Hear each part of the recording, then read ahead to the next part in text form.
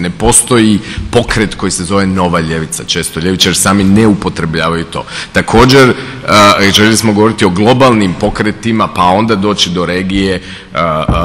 U tom smislu smo svi ovdje željeli dati jednu širu priču, pa zato možda nije bilo mesa dovoljno.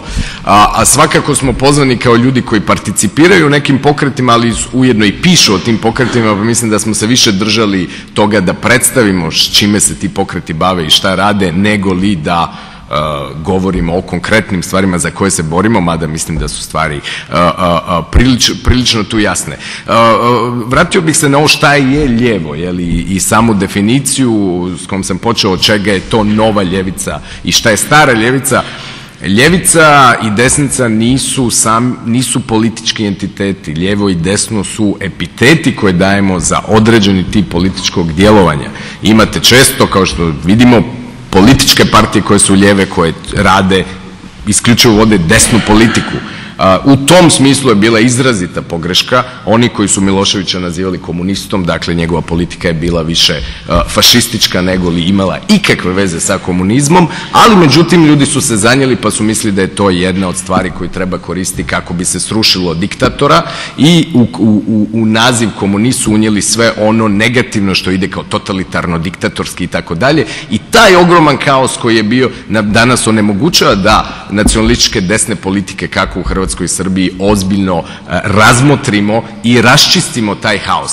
Dakle, da li su vaše akcije progresivne ili su reakcionarne, o tome ovisi da li ste lijevo ili desno, a ne postoji ljevica kao neki entitet koji je tu pa kojem ćete se eventualno pridružiti ili ne. U tom smislu postoje ljudi koji djeluju lijevo a da se ne nazivaju ljevim i postoji jako velik broj ljudi, barem moje iskustvo u Srbiji, koji su intimno lijevo, ali još uvijek je tako jak jaka ta hegemonija koja onemogućava da se identificirate sa ljevim, kao što je jaka proizvodnja zaborava koju je Boris spomenuo, proizvodnja zaborava o samoupravljanju, proizvodnja zaborava o mogućim alternativama, hegemonija koja vam kaže da jedino možete kao kao član svoje zajednice, to je uglavnom nacija, participirati u svjetskim stvarima. Tako da je počinjete doživljavati prirodno, emotivno i tako dalje. Dakle, da, mnoge stvari su bolesne, ali da ne ulazimo u trku ko je bolesniji u glavu u Hrvatskoj ili tu.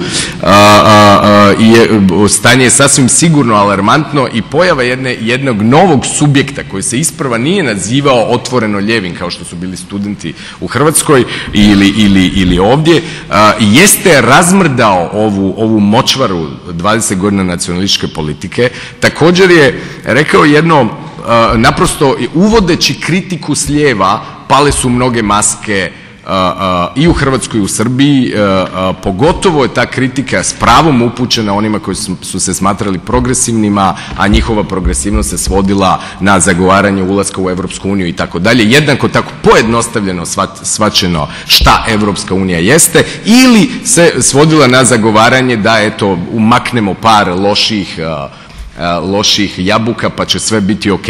I tu bi se vratio, mislim da je kolega Jadžić krivo bio shvaćen tu kada je govorio o korupciji. Da, razlika je da li smatrate da treba se umaknuti korupciju, korigirati sistem koji je po sebi dobar ili smatrate da se radi o sistemskom problemu pa pokušate naći odgovor na samu korupciju kao takvu. U tom smislu lijevi pokreti, a sad da se vratimo i na ono malo mesa i time ću završiti, zapravo situacija izgleda